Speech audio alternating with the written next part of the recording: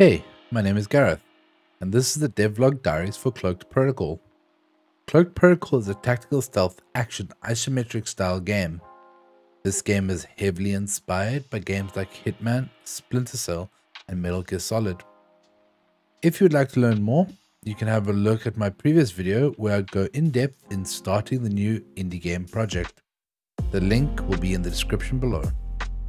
In the previous devlog, I spoke about all the basic features of Cloak Protocol.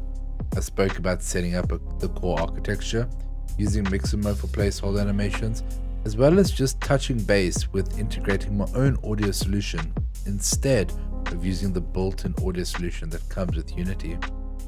I also spoke about making a project much cleaner using a block list instead of a huge string of condition checking and if statements. Since the last devlog, I managed to get the inventory up and running fully. It was extremely difficult in terms of thinking about and figuring out how the inventory will be used and how to store information. I'm going to break it down just a little right now. The cornerstone of my inventory system lies with something called scriptable objects. Now if this is your first time hearing about scriptable objects, then I'm going to break it down for you real quickly. The technical explanation goes a little something like this.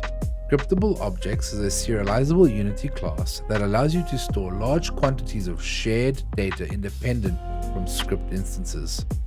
Using scriptable objects makes it easier to manage, change, and debug.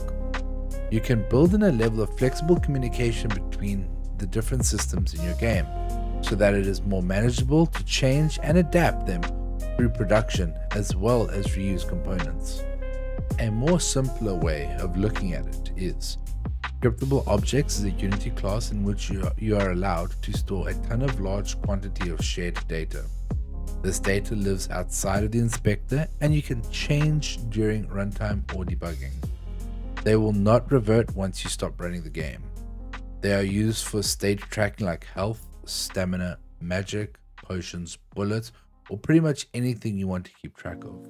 When developing the inventory system, I saw so many drag and drop systems on YouTube, as well as many Minecraft equip slot systems.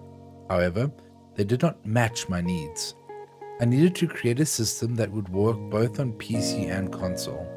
On PC, I want the player to be able to use a mouse to select the items. So I did what majority of the developers are doing these days. I went over to ChatGPT and I started asking it how to build an inventory system. Although it did not write the entire system for me, it ended up sparking ideas on how to go about writing the entire inventory system along with the equip system.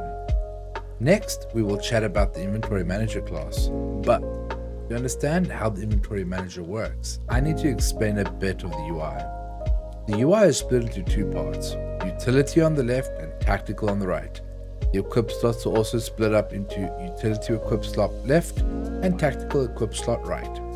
I created a new UI button and modified the background. I added the text and I added an empty icon uh, and saved the button as an inventory slot prefab. This is the prefab that gets added to the left or the right of the inventory when an item is picked up based on the type of item it is. Let's break down the inventory equip system for starters, I needed to create a few items to pick up. So, I created a new scriptable object class and called it item. I used the newly created class to start defining what makes up the item in my game. I added fields like the item name, description, and the icon of the item. I also added a tag to check the type of item it is and a boolean to see if the item is stackable. The item tag variable would check if the item is a utility, consumable, tactical, or throwable item. This will be important later.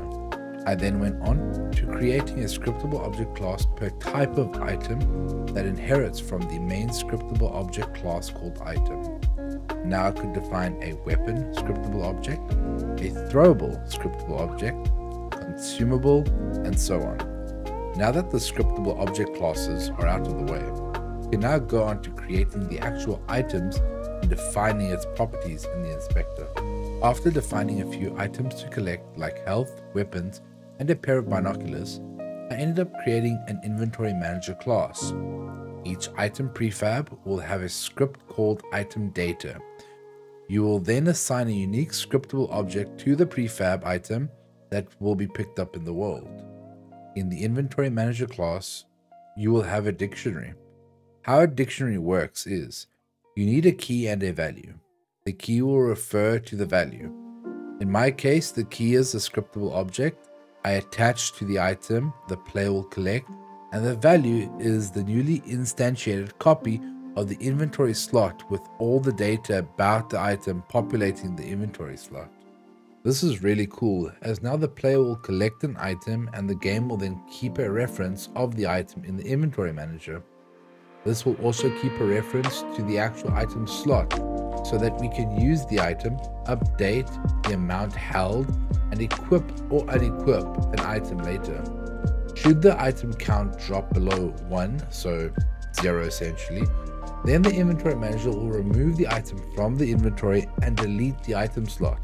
It's actually really cool. Let's move on to equipping and the unequipping of items.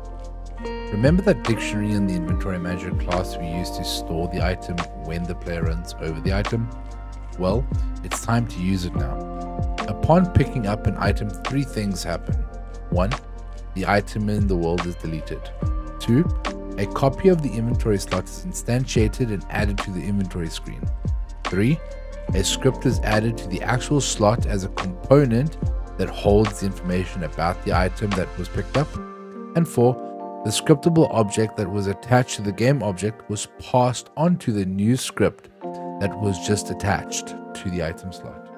Now I can do cool things with the item slot. The script I just attached to it allows me to do a bunch of actions. Upon clicking on the item, I can check if it's stackable. If yes, I can decrement the item a great example would be as follows. You're allowed 4 health packs. If you use one, you then remove one from the stack. Or, if the player runs over to pick up a health pack, update the stack with one. With that said, the inventory system is fully functional and all I have to do now is update the UI if the health is used or apply damage if a gun is shot. Please let me know in the comments below if you would like a tutorial on scriptable objects. Hit the subscribe button and turn on notifications to stay up to date with the next devlog or tutorials. I'm at a point where I have all the core components together to make the vertical slice. For the upcoming weeks, I will be focusing on health UI and damage systems for the game, and I want to start getting a level together to showcase how everything will play in the game. And that is it for this devlog for now. Thank you so much for watching, and I hope to see you all in the next video.